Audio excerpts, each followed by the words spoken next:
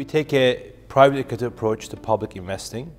We invest in high quality businesses with sustainable growth when they trade at a significant discount to intrinsic value.